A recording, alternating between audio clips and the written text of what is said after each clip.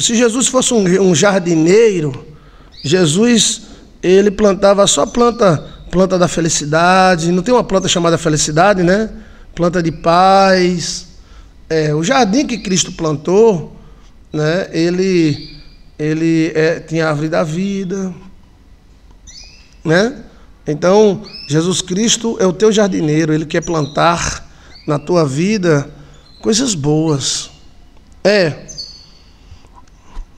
Você vê que as coisas boas às vezes são mais difíceis do que as coisas ruins, né? Você planta um pé de tomate, agoa, ainda coloca adubo, veneno, ainda morre. Você planta um pé de espinho, pisa nele, caga em cima dele e cresce. É que ele cresce mesmo, né? Não tem, parece que não tem bactéria para pé de espinho, né? Deixa Deus plantar os girassóis nos girassóis dos teus cabelos, cabelo vermelho, girassol. É, deixa Deus plantar na tua vida girassol, planta da felicidade. É, plantar alegria, plantas frutíferas no jardim do teu coração.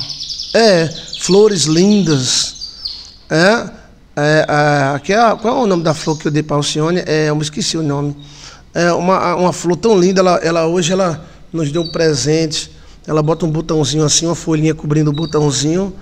Como é o nome? Orquídea. É uma orquídea, né? É. Deus quer plantar no teu coração coisas boas. O inimigo ele quer plantar a planta daninha, o joio, a dúvida, a incerteza, o medo, a ansiedade. É, é uma plantinha que bota um botãozinho assim, ó, um negocinho compridinho, aí bota uma, uma folhinha em cima e fica escondendo. É cheia de frescura essa flor. É. Aí, mas é linda, né? É linda. Então Deus quer plantar muitas coisas boas no teu coração. O teu coração, segundo a Bíblia, segundo a palavra de Deus, ele é um jardim. É, é um campo a ser plantado. Que Deus plantou coisas boas. Mas veio o inimigo de noite, porque o inimigo só trabalha de noite. O turno do inimigo é de noite. Aí ele pegou e plantou os espinhos. Quem são os espinhos? É as dúvidas, as incertezas, os medos. São os espinhos da vida, né? É. No jardim de Deus, o teu coração é o jardim de Deus. Deixa Deus plantar coisas gostosas. Você tem direito de ter um jardim bem gostosinho. O coração da gente é o jardim de Deus. Diga, o meu coração é o jardim de Deus. Onde planta ele planta coisas boas e lindas. É, não deixa o inimigo plantar coisas ruins no teu coração, não.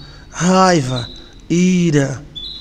Aí você fica amargosa, você fica nerostenta, fica com o sistema nervoso. É, a beleza das pessoas está muito no coração. Sabia? É, às vezes a gente liga, liga muito em boquita, narizita, testita. Mas o coração é uma, um lugar maravilhoso, né? É, é. Dentro do coração, onde nós encontramos o maior conforto para a nossa alma, dentro de um coração que ama. Então, né? Abre a porta do teu coração e deixa Cristo habitar. Abre a porta do teu coração. Abre a porta. Abre a porta. Por quê, pastor? Porque o coração ele só tem a trava pelo lado de dentro. É.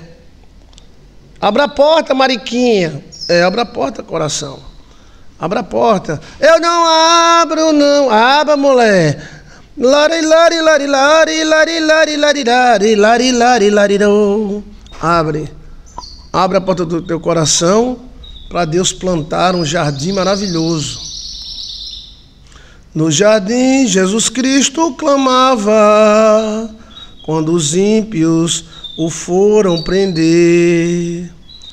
e clamava ao Pai, suplicava pelo cálice que ia beber.